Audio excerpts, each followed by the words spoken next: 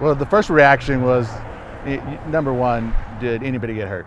You know, we wanted to make sure. Number two, you know, we know US 82 is built through a mountain. We've seen smaller rocks, rock falls, always a risk out here.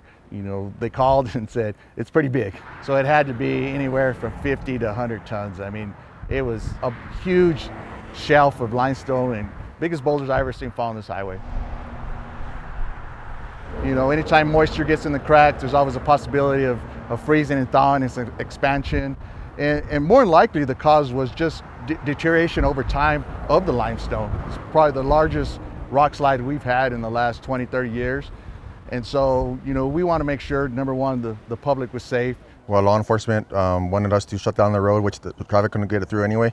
The amount of, of, of debris, of limestone that came down, uh, was the highway was not passable. And we were able to get our crews in, um, start planning, getting materials, labor, equipment, everything involved to just get this rock removed. For the safety of our workers, which are on site immediately, you know, they're evaluating, see if they can remove the debris, the limestone, and get the highway open, because that's always priority to get traffic flowing. We actually hired a local contractor with the right equipment, and uh, we jackhammered uh, all the, these big rocks. Uh, we were actually get, able to get them like in smaller um, uh, size where we were actually able to haul them off down the mountain. I think that just the teamwork, communication, um, just like step by step what we needed to do to remove the rock, uh, to get it down, and then also start for the repair work, getting materials, getting the right equipment up here, doing it in a safe and proficient manner.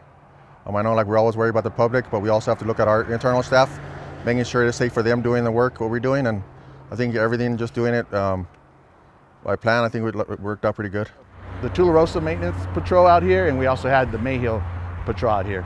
Uh, i commend their effort. Uh, three days, you know, 24/7 almost. Uh, dedication, and that's the word that describes the the staff that was out there. And just want to say thank you to them. We ended up bringing in an expert, a geotechnical engineer, to evaluate the situation. In his professional opinion, he, uh, he said it's very stable. Please obey the, the warning signs, the rock falling signs, uh, speed limits, uh, help, help you stay safe here on, out of here on US 82.